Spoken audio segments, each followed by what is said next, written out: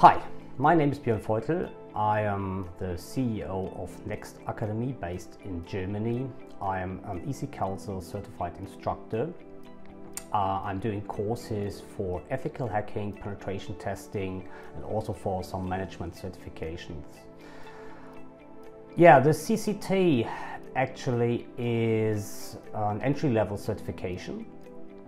Um, it touches on different topics like offensive security, defensive security, operational security, and also forensics. Um, and yeah, apart from, from other certifications, also gives you insight into some newer areas like uh, cloud, IoT, and OT. Um, it not only comes with the courseware, it also comes with a handful of labs which will help you to practice and actually sharpen your hand-on skills. Well, I think it was the exam structure. Um, because you don't have only have multiple choice questions, you also have several questions uh, where you first have to um, solve a lab and then you get the answer by completing this assignment actually to answer the multiple choice questions. Um, I've not seen this in recent uh, uh, entry level certifications, um, so this was quite new to me.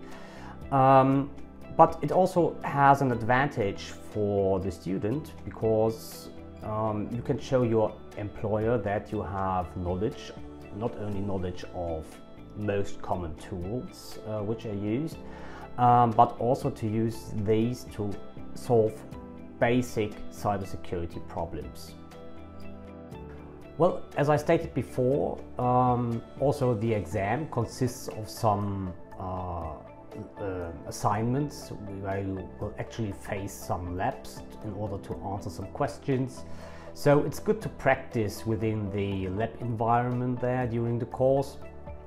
Um, also, uh, you want to prove to your future employer probably that you have some hands-on experience. This will come in handy there as well. Um, not all of the modules uh, contain labs. I mean, uh, 85 labs may seem a bit overwhelming for some of you. Um, well, the longest labs may be last about two hours or two hours and 50 minutes. Um, and also if you are not experienced with these kinds of labs, uh, they will provide very good guidance uh, in order to for you to follow along even if you are not so on the technical side. Yes, absolutely.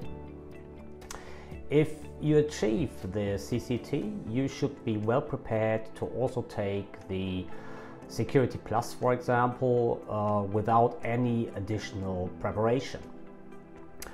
Um, also, if you would like to go on after the CCT, for example, with the CH, CND, CSA or CHFI, um, then you will also find some of the materials overlapping there. So this is also a very good preparation for the other exams.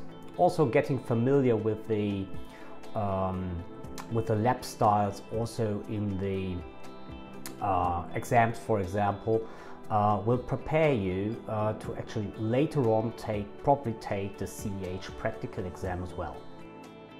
Yes, uh, the CCT is a very good candidate to first uh, make your first step into cybersecurity.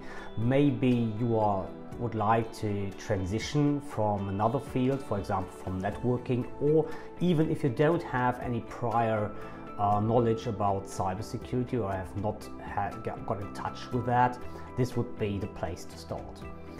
Um, the CCT touches on many different aspects of cybersecurity. For example, you will get familiar with some offensive security, defensive security, operational security, and also some forensics, uh, touch on some new points like cloud, for example. Um, so students often ask me what is the next way or the, the next step for me to pro progress actually in the field? And the CCT actually answers this question because um, even if you don't have a clue on where you would like to go, um, then um, you, you may follow along the path which has given you the most joy during the course um, and then go from there for example say okay you have taken the offensive or light or liked most the offensive side then you probably then go on to ethical hacker and later on probably to the CPENT well um, yeah definitely it would be the word practical because the ratio between course and labs is evenly distributed. So you will get around 50% of uh, work within the labs during the course. Um, yeah, and even the extension of the practical work throughout with it or into the exam actually make this a complete practical certification. Well, in my experience, it was a labs because the labs were very well designed. Um, they made up a lot of the course content. You had to get familiar with the labs in order to pass the exam. So um, yeah, these, this would surely be a highlight within the CCT. Yes, I think so. Um, the CCT, as I said earlier, has a lot of labs and uh, this this is an experience which makes the course even more enjoyable. It's just not dry content, um, it's just practicing and skilling up through these labs. Um, and also, well, it is a prerequisite of passed onto passing the exam actually, um, because about 16% of the questions uh, will rely on you being able to actually use the tools and solve some basic cybersecurity problems in order to pass the exam. Yes, um, as an instructor, I am um, often asked whether I can share some tips on how to tackle with the exam or how to do go on with the course. Um, well, I decided to share with you three good tips uh, on how to deal with the exam. The first one would be uh, fear of not having enough time. Um, actually, the con exam consists of 60 questions. 10 of them will be lab questions and you have 185 minutes in order to complete these. So you won't be in a hurry. Um, so if, if you can do the math, this actually will lead you to three minutes uh, answer time per question. So don't fear that you will get uh, in, uh, out of time. Remember, this is an entry level exam.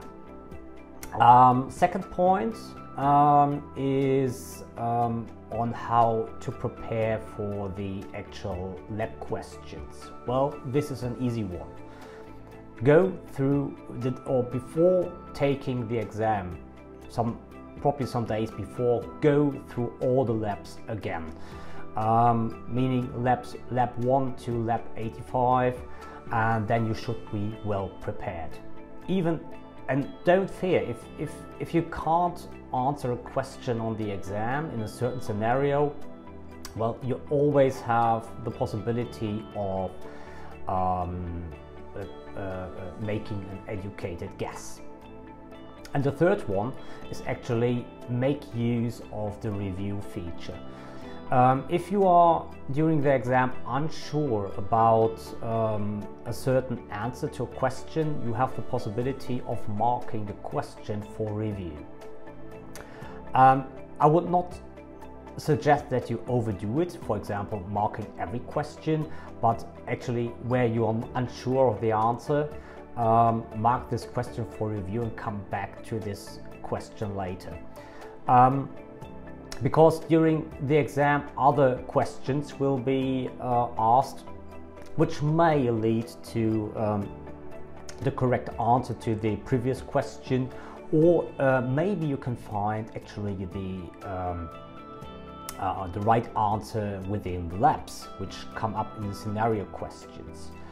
Um, one more word of caution though, um, if you are reviewing your questions, uh, don't overthink them. It's, it's an entry level exam, so if you have made a decision and don't have a, a, a good reason to actually change your decision, don't change the answer. Um, well, and at the end, you only need 70%, right? Okay, well, this is all I can think of. Um, thank you for watching and well, yeah, all, all the best on your way into cybersecurity. See ya.